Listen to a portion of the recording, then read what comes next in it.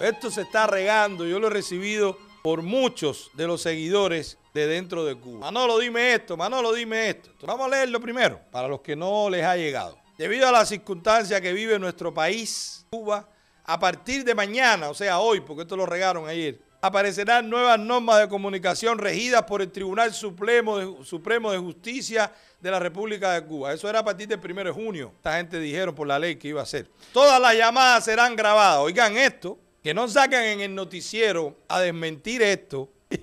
que no salgan en confilo a desmentir esto. Es, la, es otra prueba, otra prueba para el cajón, para el contenedor de pruebas que hay de los delincuentes de estos mafiosos, de los delincuentes que son estos mafiosos. Oiga. El youtuber a tiempo parcial y terrorista a tiempo completo, Manuel Milanés. Todos los mensajes y llamadas de WhatsApp quedan grabados. Monitoreo de Twitter, monitoreo de Facebook, monitoreo de todas las redes sociales y foros. Dile a los que no saben que en el país comenzará un nuevo orden judicial amparado por el decreto ley, bla, bla, bla, bla todos los dispositivos conectados a los sistemas departamentales de la República de Cuba. Tenga cuidado de no enviar mensajes innecesarios e o información que sea contraria a las leyes y la moral de nuestros órganos de justicia y principios revolucionarios. Evite dar información confidencial a sus amigos y parientes. Cuéntala a tus hijos. Sé muy cuidadoso. Es muy importante transmitir este mensaje solo hoy, porque desde mañana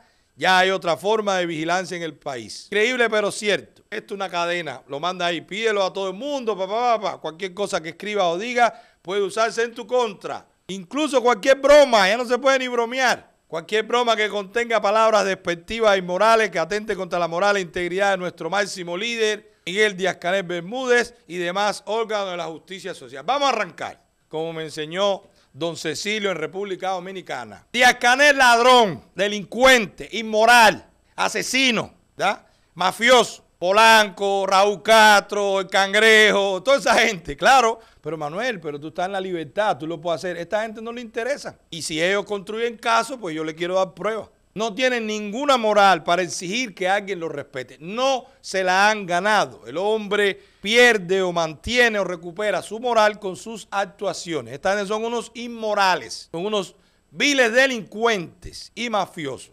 cualquiera se lo puede decir porque esa es su reputación y tu reputación te precede. Comenzando poniendo las cosas en su lugar, que ellos no tienen ningún derecho a exigir respeto porque no se lo han ganado Vamos a ver esta falacia. Primero, ¿en qué momento se dejó de monitorear? Hay departamentos enteros en varias de esas instituciones represivas solo para monitorear. Hay una universidad entera informática. Aquí hay en el exilio personas que han pertenecido, incluso que fundaron los departamentos que era para combatir en las redes sociales o para combatir en internet. A los cibercombatientes revolucionarios. A la tiranía cubana no le hace falta una ley para monitorear, mucho menos para grabar. ¿En qué momento para grabarte una conversación en Cuba hizo falta una ley o un decreto o un sistema? Nunca.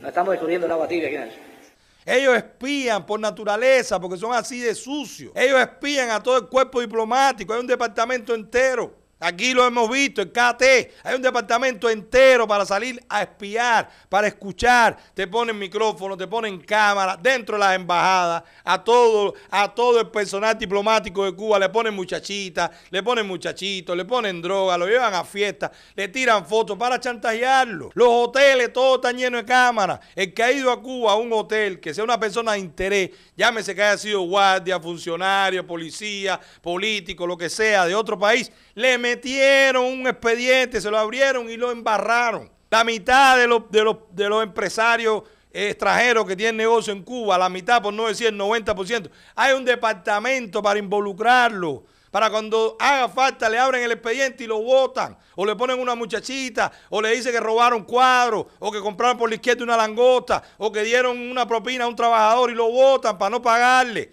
Si no, pregúntale a Mao Fagré. Si no, pregúntale a Tomajian. No, pregúntale a Más Marando, pregúntale, hay nombres, hay, hay, una lista incalculable, infinita de personas que le han creado expedientes con espionaje. Cuba vende información, de hecho, los espías que tiene Cuba hoy aquí, el sistema represivo blando cubano, que son las embajadas inoperantes y costosísimas, son para recolectar información, son sistemas de espionaje internacional. No es para defenderse, los que están aquí no le importa defenderse a Estados Unidos. Estados Unidos defiende a la tiranía, no permitiendo que los que queremos vayamos a pelear. Bloqueo criminal eh, que ha durado más de medio siglo y que ha costado muchísimo a los cubanos. Me van a salir ahora con un mensajito y la gente se va a friquear. ¿Y qué va a pasar? ¿Cómo que va a pasar? Llevan 64 años haciéndolo. En República Dominicana se dice que hay unos aparatos de origen israelí que pasó por República Dominicana triangulándolo para llegar a Cuba y son aparatos de espionaje, pero estoy hablando hace 30 años que están. En algún momento quien se prestó para esa triangulación se quedó con uno de los dos e incluso se vende información. Eso se sabe, los dominicanos saben que supuestamente, yo no lo sé, no, no lo tengo la certeza, pero se habla mucho de eso. Más que nada en el círculo político de medio alto nivel. Que hay aparatos de escucha que interfieren. Y eso hace 30 años que pasó por ahí. ¿Ustedes creen que no existía? Había una base, se llamaba la base Lourdes, estaba lleno de satélites de espionaje, de escucha, dirigido directamente a Washington o al sur de la Florida. Me van a decir ahora que porque hicieron un decreto, ahora no se puede escribir sea, ¿qué capacidad tiene la tecnología cubana para violar la seguridad de WhatsApp? El tema está que en Cuba se distribuye una versión de WhatsApp que no es el WhatsApp original. Hay otra forma también. Si usted tiene Transfer Mobile, que la cola no sé qué, que el otro que vende tickets y todas las aplicaciones que esta gente te dan para que tú pongas, que supuestamente te ayudan, muchas de esas aplicaciones dejan ventanas abiertas, algo así se llama, no soy un especialista, dejan la posibilidad que si usted descarga esa aplicación en su teléfono, pues ellos puedan hacer fotos, tomar fotos o capturas de pantalla constantemente de todo lo que usted ve en el teléfono. Así que si usted abre su WhatsApp, el suyo, el original,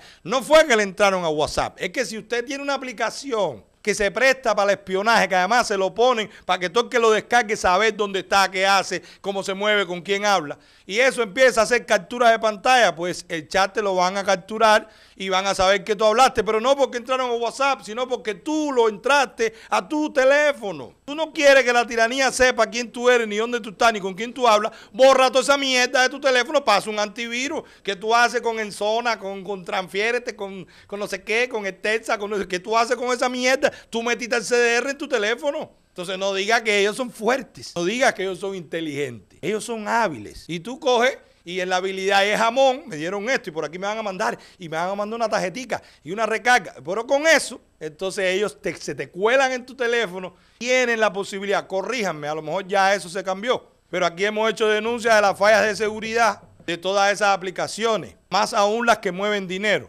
Y hemos hecho denuncias de la gente que se ha estafado solamente con una llamada telefónica porque no tienen sistema de doble y de triple verificación, no lo tienen. Está bueno ya de compartir, de ser cómplice de esas bolas. Si a usted le llegó ese mensaje, lo mejor que puede hacer es no repetirlo, porque usted repitiéndolo, lo que está haciendo es creando el terror que ellos quieren.